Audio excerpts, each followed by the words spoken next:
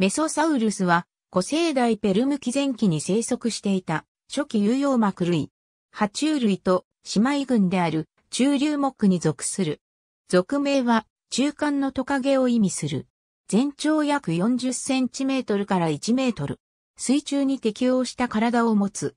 一度地上生活に適応した後、祖先の両生類のように水中生活に戻ったグループの一つと考えられている。化石が発見された地層の堆積物から、この生物は故障など陸水系に生息していたと推定される。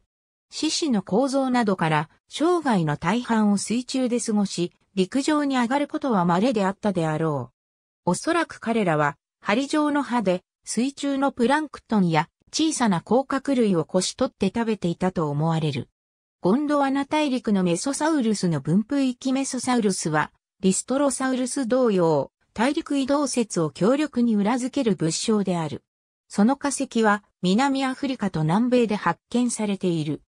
この生物は淡水性で小型であり、大西洋を渡ることができなかったため、この生物の分布はアフリカと南米の両大陸がかつては結合して地続きであったことを示している。